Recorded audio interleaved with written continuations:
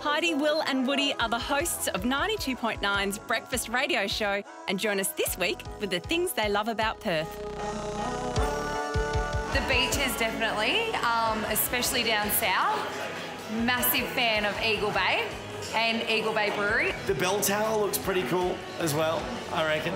I think that's a really cool thing to do.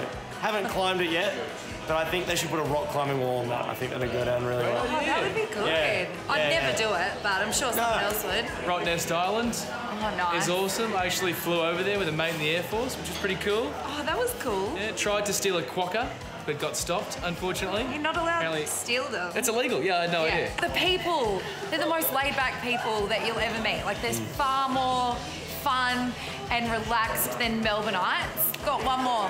Probably Kalgoorlie. Oh gosh, I love that place. I did radio there. Love the bars, love the people, love the miners, love the way of life. Oh, Kings Park. There's like memorials there. Awesome Yeah. view of the city. Um, Can I add to that? Sure. The entertainment at Kings Park when you I saw Jack Johnson.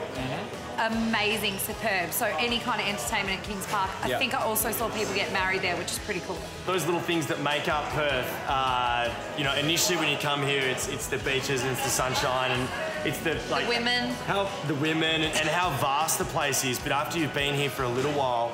Um, it is the little things that you do start to pick up on that sort of start to change your life a little bit. oh, the sun sets over the water here.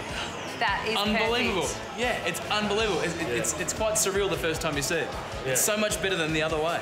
And do you know what? I with my boyfriend always go down to Mullaloo Beach and we watch the sunset and we get prawns and eat prawns and have like a big seafood dinner and it's the perfect date night.